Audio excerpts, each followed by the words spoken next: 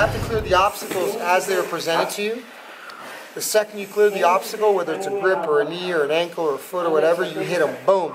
Because the second you clear, if you clear and wait, they'll, they'll counter, they'll move, they'll adjust, they'll grab, they'll cover, whatever. But if you can clear and hit at the same time, disconnect, swim, hit at the same time, they have to defend. And during when they when you freeze them during the defense, then you can get in closer and closer and closer. So you don't want to just dive in all at once. You do it in layers. You know. Ready, set. So I split the guard. I ver I do what I call verify the split, which means I, I basically keep them split, and then off of that, that gets me close enough to usually get to their hands and their arms.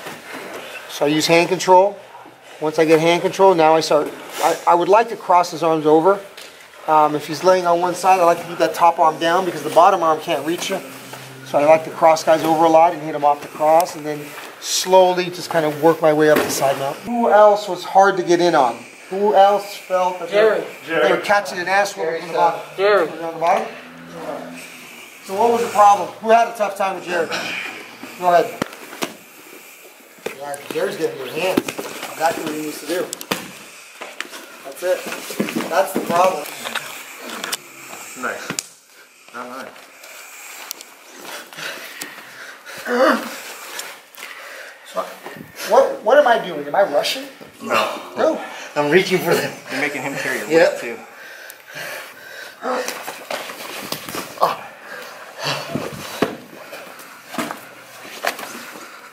Again. What am I doing? What's the difference? I gotta reach for the for the arms. So I'm chasing them down instead of them coming to me. Yeah, I'm getting you to reach. What? Why are you reaching? Because you're standing straight No. up. Because I'm making you Yeah. do what? Okay, What am I doing? What am I doing? You're pinning me and carrying I'm your weight. connecting. Push. I'm connecting. So now, look, now, go, reach. Reach. But what's the problem? Yeah. This is the problem. Kevin's hips. I got my Having legs. his hips. So he becomes a stationary target. The second I disconnect, go, whoop, boom. All I gotta do is beware. where? Inside. All I gotta do is be on the inside. So once I'm here and I start getting him. Oh, oh, you want this one? and as I do that, I pass. So the hip pressure is consistent. Uh, if I can cross them over here, I like this. Hit me with your right hand. Or hit me with your right hand. Just reach me with your right hand. Oh, I know you can. My shoulder's left, blocking hand, it. your left hand, you can. Yeah. So what am I trying to get to? The bottom hand or the top hand? Top hand. Oh, Always. No, hit me. Sucks, right? Yeah. You also do that to prevent him from lifting you up, Of course. like here? You know what I'm saying? Yeah, I mean, I position myself, lift me.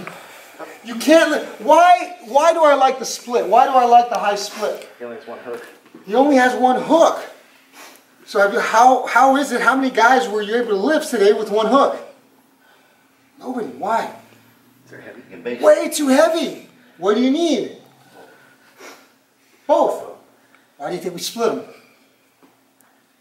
The reason for the split is to prevent control. To prevent them uh, from being able to move us, to maneuver us, to elevate us.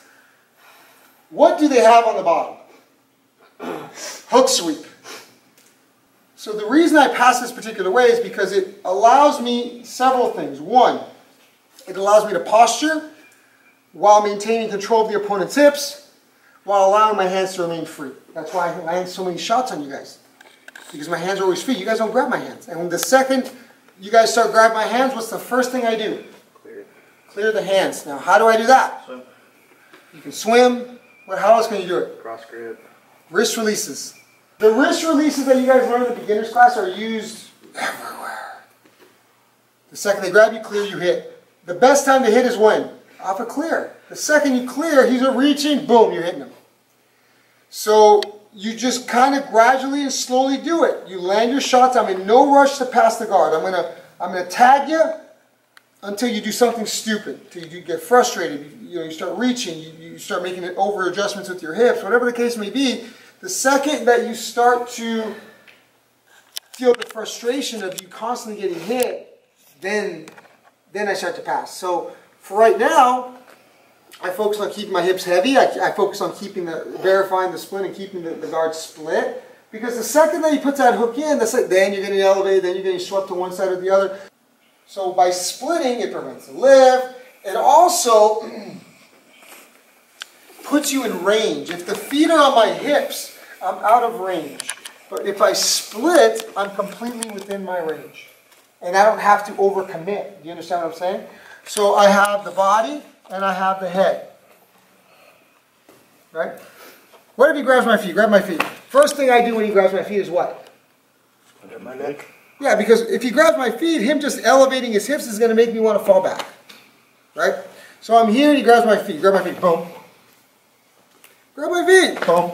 The second his hands go down to grab my feet, what am I hitting him with? Anything. The se- it can't be grab. Start to elevate. No, I no. It's got to be grab my feet. Boom. The second he touches both of my feet, grab my feet. Boom. Grab my feet. Boom. Grab my feet. Every time. Grab my feet. Grab my boom. Grab my feet. Every time he grabs your feet, that's your automatic uh, uh, invitation to smash him in the head. Every single time. And I'm just touching him. But what happens if I really rifle a shot off at him? Boom! He's got, think of this shot right here. Grab my feet. Boom! Think of the shot. I'm completely planted.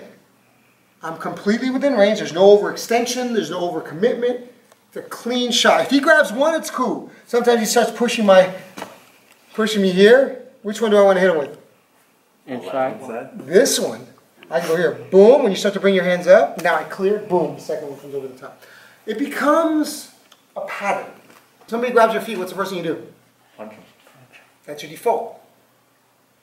If I'm splitting his guard and he puts his foot on the hip, what's my default? Step back. Step back, step forward. What's my default if that one comes around? Hand, arm, and elbow. What if he puts the foot on the hip? Step back. Step back. Or at least disconnect and reconnect. You see what I'm saying? We're going to work on this week what the default behaviors are. So so I want you to be able to pound and pass with a little bit more uh, ease, a little bit more consistency, a little bit more balance, and to really look at what the system is teaching you rather than just trying to hit whenever you can or defend whenever you can. No, there's a, there's a definite uh, system to what I'm doing. So for the guy on the bottom, he's got to follow the three basic patterns, the three basic rules. Distance management, inside control, and being sticky. The guy on top is trying to constantly have the guy on the bottom engaged, his legs always engaged, because if his legs are always working and they're always engaged, they're going to fatigue. And the second he starts grabbing the legs, what I'm looking to, to do on top is I'm looking to hit. Now, as they cover, that's when I start to pass. So it becomes a pattern. The, the, the, the pass sets up the strikes, and the strike sets up the pass.